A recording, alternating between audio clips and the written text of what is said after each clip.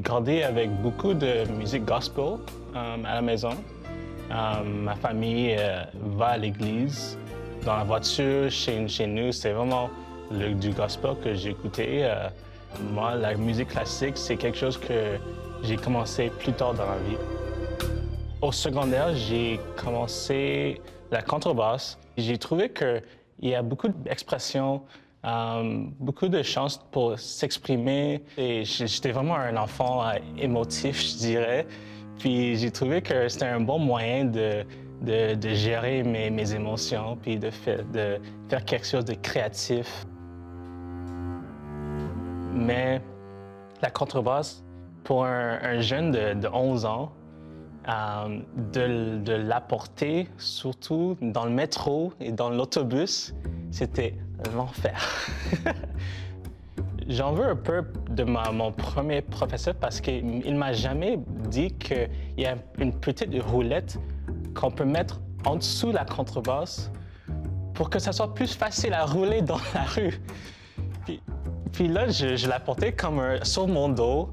Puis je pense que j'ai eu des, des maux de dos à cause de ça.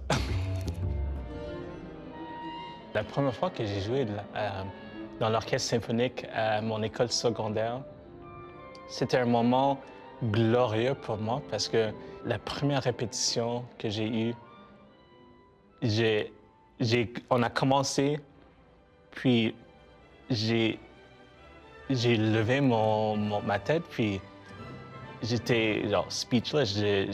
J'étais comme. C'est vraiment ça, une orchestre symphonique. C'est fou pour un jeune de 13 ans, tu vois. Pour moi, c'était quelque chose de nouveau. C'est vraiment un travail d'équipe, tu vois.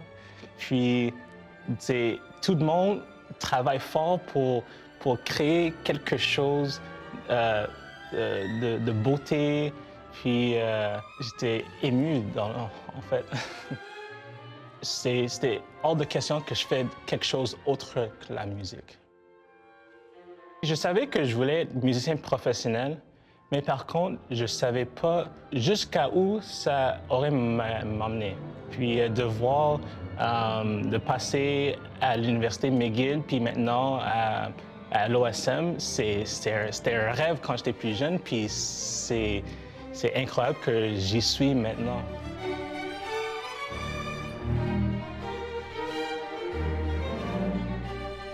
Le rôle de la contrebasse, c'est vraiment de, donner le, le fondamental.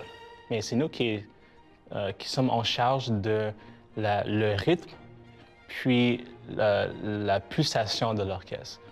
Souvent, on a, des parties répétées sur une note, puis c'est vraiment la batterie que tout le monde euh, dépend. Alors, c'est sûr qu'il y a moins de chances de solo euh, pour les contrebasses, mais moi, je pense que je préfère ça, en fait. Je préfère d'être sur quelque chose de stable, de rythmiquement euh, euh, imposant, je dirais, je dirais. Mais c'est toujours, on doit toujours être souple par rapport à d'autres instruments qui ont le solo.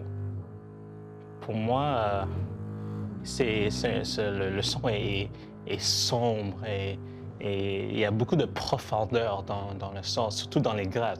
Quand on joue les, notes graves, on, sent tout l'instrument vibrer. Puis quand on joue dans, les aigus aussi, ça reproche de, de la voix humaine avec l'archet. Puis je, suis perdu dans, un monde euh, euh, surréel.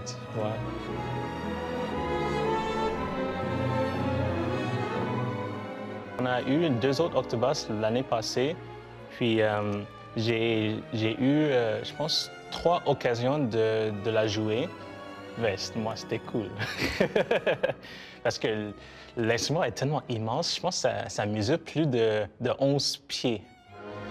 Puis de, de jouer les, les cordes, il y a tellement de puissance. Puis, ouais, c'est un instrument très, euh, très impressionnant, je dirais.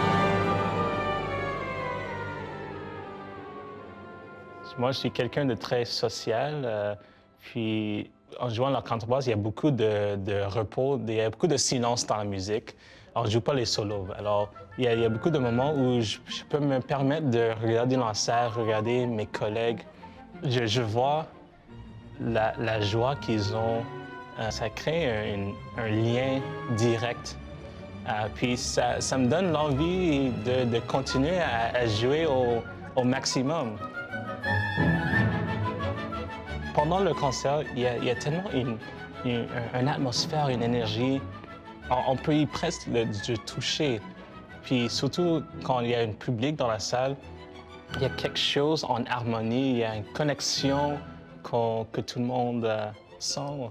Puis euh, quand tout le monde sourit, puis il y, a, une, énergie euh, dans la salle. C'est comme après un match de, hockey ou de sport, tout le monde est comme « Ah ouais, high five, ouais, c'était excellent, bravo ».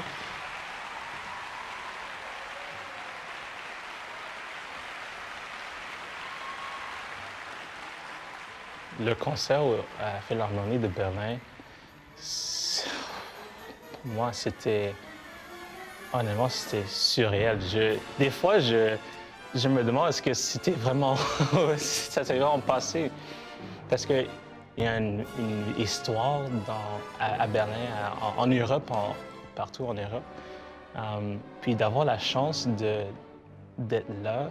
Pour moi, je suis encore jeune, puis je viens de juste commencer ma carrière professionnelle. Puis déjà, je fais des tournées dans les, meilleures salles au, monde. En rappel, à, la Philharmonie de Berlin, on, a joué la valse de Ravel. Honnêtement, tout le monde était sur scène, était dans un, monde de, de fou. Il y avait une énergie elle avait très apprécié beaucoup notre performance. On, était souriants, on, dansait dans nos chaises, on, sentait beaucoup l'esprit de la musique.